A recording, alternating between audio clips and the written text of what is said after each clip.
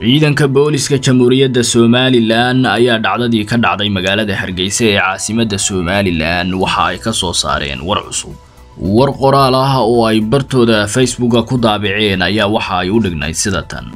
Taliska guud ee ciidanka booliska jamhuuriyadda somalilan waxa uu caddaynayaa inaanay jirin wax qaraxa oo ka dhacay gudaha magaalada hargeysa ee caasimadda somalilan waxaanu bulshada u caddaynaynaa in agagaarka dahabshiil gargaar agteeda banjarle ku yaalla ama goomayste. Kaasi oo banjarinayay taayir ayaa waxa ay sheegeen inay waxyeeladu isaga iyo qof kale oo ka caawimayay hawshaasi ay ku kooban tahay.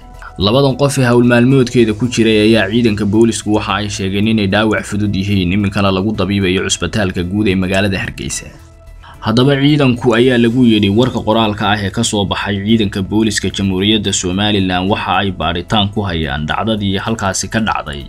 Sababtii keentay qaraxa taayirka iyo sida oo kale inay labada qof waxyeello ka soo gaadho.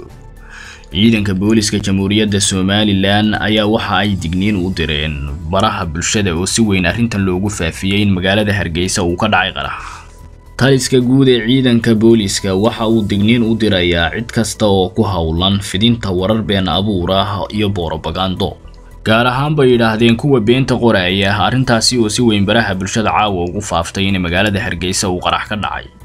Ka farxi ehelkaaga asxaabtaada iyo qaraabadaada. Oo la soo deg abka dahabshiil si aad si fudud lacag ugu dirto. Marka aad la soo degto ablicathonka dahabshiil ee aad lacag ka dirayso isticmaal koorka khadmad la'aanta ee tree free oo kuu sahlaya in saddexda jeer ee ugu horreeya ee aad lacag dirayso aan wax khadmad ah lagaa qaadin dahabshiil howlfudaydiyahaaga maaliyadeed